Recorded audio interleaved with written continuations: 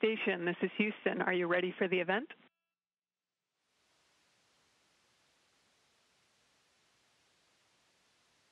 Houston, we are ready for the event. Good day, LA. This is Mission Control Houston. Please call station for a voice check. Station, this is Michaela Pereira with Good Day LA. How do you hear me? We hear you loud and clear. Welcome to the space station. It's good to be with you today. It is so good to be with you, Thomas, Megan. What an exciting time for us to be able to speak with you. We were just taking a look at some of the work you did just last week. We know every moment is accounted for up there in space. Each moment is so vital. Tell us what you've been busy with in terms of, of uh, assignments and research. Uh, we've uh, we've done a lot these last few weeks. Uh, we got we got busy with a couple spacewalks, going out the space station, installing some uh, new solar arrays that are going to give us uh, uh, some badly needed power to make everything work inside. We have a lot of new facilities, and at the same time, what we were doing here, while we were doing this outside, um, other crew members were taking care of the science inside the space station, working on plant growth, um, and then a lot of other experiments. So it was it was an, an exciting time uh, within the last few weeks, and uh, we know the pace is going to keep being the same for the for the rest of the mission. Megan, uh, you're in the coolest laboratory a scientist could uh, ask for. Do you sometimes lose yourself in the science and almost forget where you are floating high above the Earth's surface? Actually you can kind of never forget where you are because everything that you do is complicated a little bit by the fact that you are floating high above the Earth's surface. And so things that we would think are very easy on Earth, um, like sampling a surface, um, become very challenging because you have to figure out how to place your body and how to place all of your supplies. Uh, you'll notice we have Velcro on our pants, and oftentimes we're, we're sticking the supplies for the investigation that we're doing right to our legs because there's not any surface to set them down on. So it's amazing to do. Um, you know, I've, I've, done four experiments, uh, worked on four different investigations already today, which is just an amazing thing. Uh, but you always know where you are when you're doing it. Part of science is the thrill of the academic discovery. Part of it is also about the practical application of those discoveries. I mean, look, you talk about the Velcro. Which is the part that gets you more excited, Thomas? The thrill of academic discovery or the practical application? I think what's really fantastic is we, we get kind of the, the best of both worlds. Some of the research we're working on is is very theoretical. Uh, we look at the universe, we look at like deep philosophical questions almost, and then some of the things we're doing is is technology oriented. This is techniques and technology that we're developing here on the space station for Earth. Um, I'm thinking about metal alloys, for example. This is this is stuff that's used every day. We, you know, whether you're building new cars, new planes, or new phones, this, you're going to need those materials, and, and, and, we're we're blazing the trail up here on the ISS. So uh, so from the most theoretical to to the the most basic, the most mundane application, we got a bit of everything here on the space station. That's what makes it so special.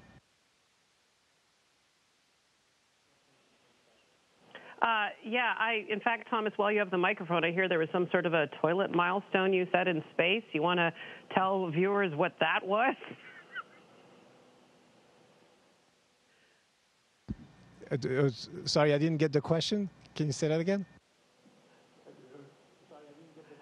Oh, we we uh, we'll just move on. Don't worry. Uh, let me ask you though. I understood last week, Thomas, you made a crepe is that true? You were able to make a crepe for the rest of the, the members of the of the space station? Were you cooking aboard? so Megan says if I made a crepe, she didn't get any. But so I like your version of the story, but the real version of the story is I use a ready-made tortilla, which is kind of the the, the basis of, of everything we do up here on space station. I smeared a bit of of, uh, of chocolate paste on top of it and rehydrated uh, strawberries, and I called it a Parisian crepe, which which was kind of a stretch. Uh, so I'm happy that at least you believed it, but but really it was a it was the extent of my cuisine here on board the ISS. Uh, but I, I, still have a couple months, and I'll, I'll try to do better than that. I think uh, uh, the Frenchmen can perfect a crepe in space. I believe it. Now, uh, uh, one thing we do know, Megan, is that you're a proud Bruin, uh, and you had the chance to be part of the commencement address to UCLA recently. Tell us how that experience was for you. a really full circle moment, I imagine. It very much was. I was so honored to be invited by Dean Murthy to give the commencement address and very excited that it worked out for me to be able to do it from the International Space Station. And I very clearly remember sitting in the audience of my own uh, commencement ceremony many years ago as an aerospace engineering graduate, you know, dreaming one day of being here. So it was very meaningful for me to be able to participate in that way and to encourage the next generation of explorers as they're just setting out on their career paths. Absolutely. Look, the uh, the space station very much is uh, a topic of discussion in your family. I understand your husband Bob uh, spent uh, months aboard the ISS last year as well. Uh, have your experiences? Do you swap stories? Do you swap experiences? one of the really nice things about having a spouse who has also is also in this business. He lived here for two months last year, as you said, and we've both flown uh, shuttle missions and now Dragon missions. Is that um, he understands, you know, the goods and the bads of, of doing this job, and it's you know he understands when um, things are maybe not going so well, and he also understands, you know, when things are going really well.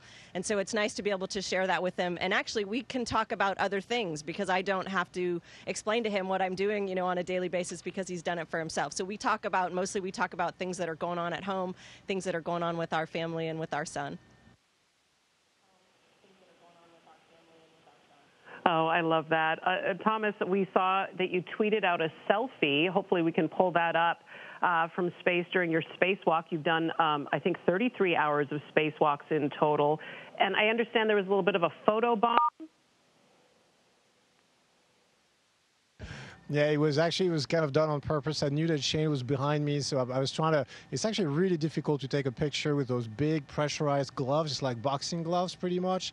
Uh, you don't know what you're shooting at, so it's kind of a blind, a blind shot. But I knew Shane was hanging out behind me, and I was trying to get a shot of both of us. And I was lucky enough. Actually, I took I took 25 shots, and one of them came out uh, pretty good. But but I like the I like the shot of having Shane in the background and, and me in the foreground because we really worked as a team. So it's a it's a good memory of the spacewalks. We've done five spacewalks together. Uh, I think it doesn't happen very often that the same crew members go out five times together. So it happened to us with Shane. I'm happy to have a picture to remember it.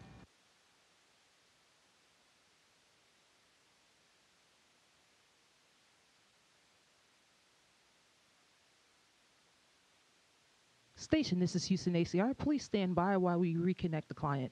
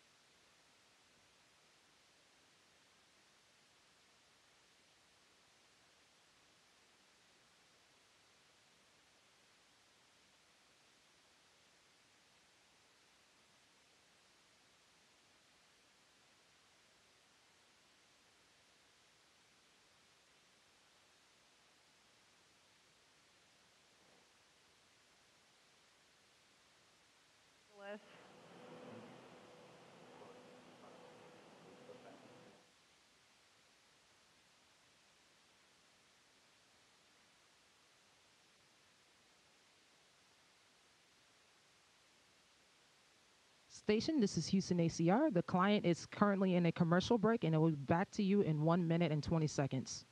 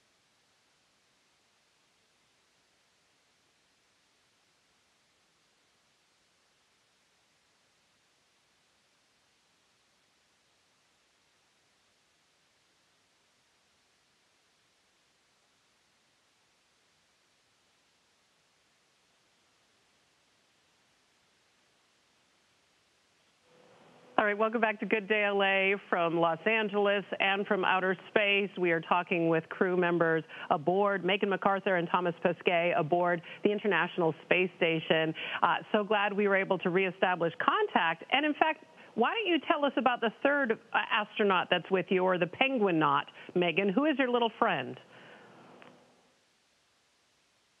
So this is our friend Guinguin. Uh, he came up with us on Dragon as our zero G indicator, and it's a tradition, I believe, that we got from the cosmonauts. Um, and their Soyuz vehicles would bring um, a small toy, um, and it starts to float once you've um, once your main engines have cut off. So we were able to bring bring Guinguin with us as part of a new tradition on Dragon that uh, was established by the the Demo Two crew, and uh, uh, my son and uh, Aki's son uh, chose chose the representative to come along with us.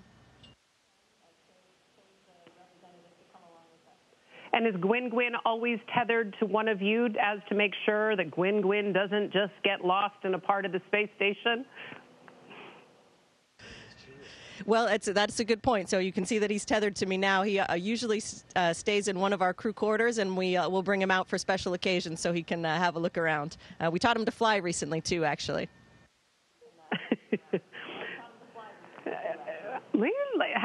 learn to fly. Looks like he's doing just fine uh, aboard the space station. I understand you're expecting a delivery from Russia this weekend.